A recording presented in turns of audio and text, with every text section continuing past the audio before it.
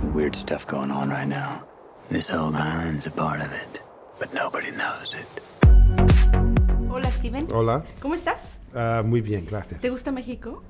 Um, You like it? yes, I know. I'm, I'm just trying to formulate my opinion. I've only been across the border a couple of. I, I, I was across the border for a couple of days, and then I was researching a film around Arizona, and I didn't see a lot of it. I mean, I hear fantastic things. You should visit because a lot of the settings um, would re- would motivate you or Yes. maybe We- inspire you to create a movie. We nearly shot in in uh, Mexico. Actually, I Oh, can't really? remember why. In the end, we went to Mauritius, but um, yeah, I, you know, it, it's got that sort of um, that sort of feeling that I really love. Where there's a lot of people on boats, and there's a lot of sun, and there's a sand and salt and grit. I, I love it. It's fantastic. Um, how did this movie challenge you? Because it's it's not a conventional thriller. It's very different, Yeah. very unique. Yes, um, I, I wanted to make it not of a genre and not, you know, part of a pattern, especially. Uh, if I'm directing a film, I normally choose the one, the scripts I've written that are a bit of a challenge, and this one is because what I wanted to do was go through the conventional process of setting up the narrative with the characters and, and the jeopardy, and then take everything away and see what how it then progressed. So you wrote and directed this movie, of course. And I'm sure writers put themselves or their life stories into one of the characters or maybe part of the story. Which one is you?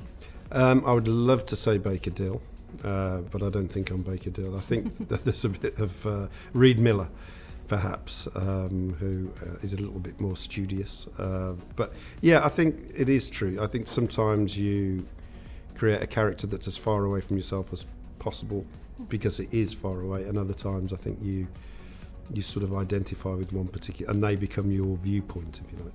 So how was this story born? Like what was the idea behind it or how was it inspired?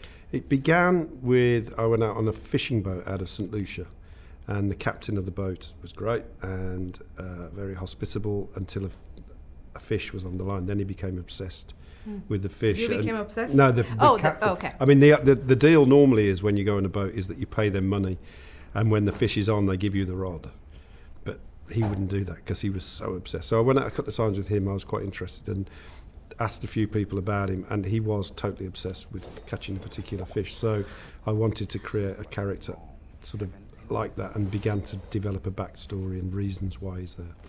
Let's talk about Matthew McConaughey and Anne Hathaway. But Matthew, like he's, I mean, how did you choose him? I mean, why? I mean, we already know why, but he's just incredible. He's he's a classic. Uh, I, I I wanted the the hero to be a hero, in the sort of conventional sense, because later on um, we would sort of demolish that. But um, he can be that person. He can be that rugged, closed down, unapproachable male hero.